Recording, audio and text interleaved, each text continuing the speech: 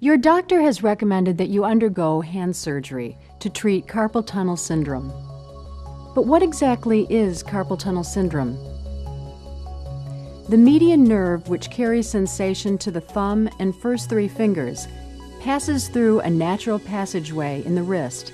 This opening, called the carpal tunnel, is formed by arch shaped wrist bones and a connecting ligament. Various conditions such as pregnancy, injury, arthritis, and changes in the tendons caused by repetitive motion can crowd the already narrow tunnel, putting pressure on the nerve.